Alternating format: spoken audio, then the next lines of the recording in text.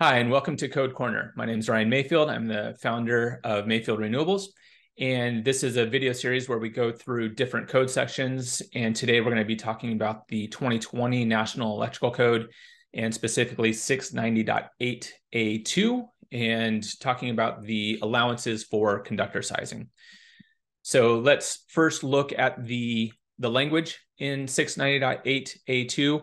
This was new in 2020 and it's a pretty big deal. It's a it's a an allowance that people that are utilizing probably on larger scale systems really more than anything and this isn't going to have a big impact on residential type applications but larger pv systems especially ones where you're using combiner boxes maybe having you know larger inverters with single inputs this is something that's going to could come into play and help save some wire sizing uh, for your systems and so what the code language says is where a circuit is protected with an overcurrent device not exceeding the conductor ampacity, the maximum current shall be permitted to be the rated input of the current of the electronic power converter to which it's connected. So what we're talking about here, what the code is talking about here is that we have we have the ability and in a lot of cases in our PV systems, we are doing larger DC input to compared to the AC output of the inverter. So very common uh, thing to do anymore is to do you know, a DC to AC ratio. So the power input to the versus the power in relation to the power output of the inverter, you know, 1.5 or more. Sometimes we're even seeing upwards of two, you know, two times the DC kilowatts as to what the inverter can handle. And prior to this code section, we would have to size our conductors from the DC, from the PV array into the inverter based on what the potential current was from that array.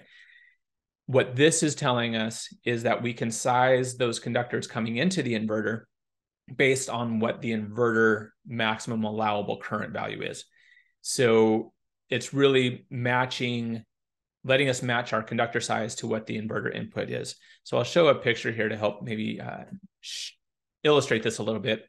And one of the key things in that code language talks about where that circuit is per, uh, protected by an overcurrent device. So you can see here we have some PV strings, we have an arrays coming into a PV combiner.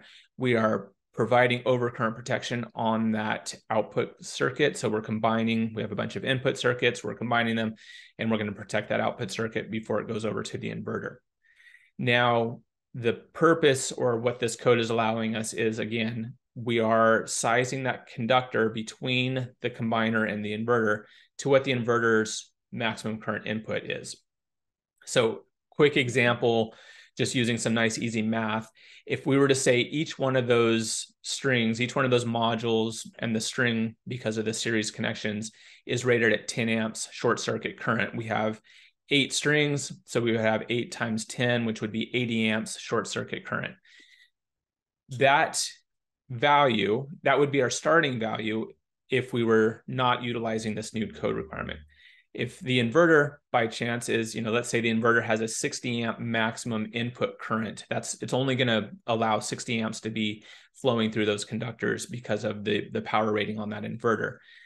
Well we can use the 60 amps as our starting value to size that conductor. So you can see right off the bat even before we do any additional uh, calculations for higher radiance conditions or continuous duty things like that by limiting the conductor size based on what the con- inverter's input is, we're going to have the ability to s- size those conductors smaller.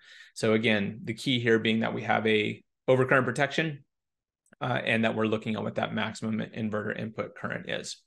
So when you put all that together, this will be helpful for again these larger type installations and you don't have to size your conductors by this theoretical maximum short circuit value that the, the array could potentially be putting into the inverter because the inverter is controlling that amount of current that's running through that circuit. So all in all, it's a good code reference. It's a good thing to you know be looking at. We're utilizing these in our designs as much as we can, and it's something that you should be aware of and be trying to apply in your own systems. So that covers 690.8a2 for this code corner. We talk about this and other NEC topics in great detail in the workshops we provide both in person and online.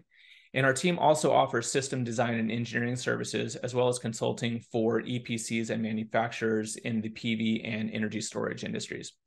If you'd like to learn more about us, feel free to give us a call or visit our website at mayfield.energy.